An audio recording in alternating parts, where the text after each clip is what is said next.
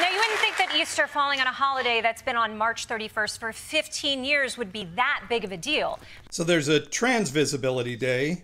Should there be one then for Christians? But conservatives process this like a child meeting the Easter bunny by losing their minds. What the hell was Biden thinking when he declared Easter Sunday to be Trans Visibility Day? And November 5th is going to be uh, called something else. You know what it's going to be called? Christian Visibility Day. Uh, this is America, buddy. Every day is Christian Visibility Day. But it's not all bad news from this controversy.